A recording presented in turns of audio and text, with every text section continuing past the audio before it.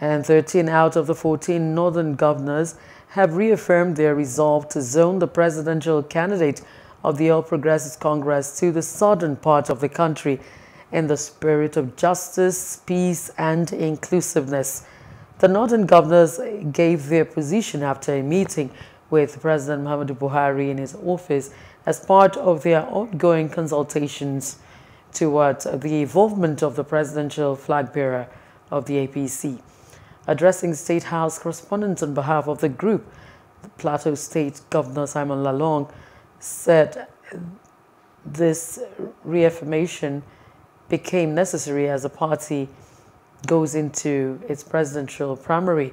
When asked about the position of the Kogi State Governor and presidential aspirant Yahaya Bello over the latest stunts, the group said the governor was duly invited but decided to stay away from the meeting. Meanwhile, the accreditation of the party's delegates for the APC primary has commenced ahead of the main event on Tuesday.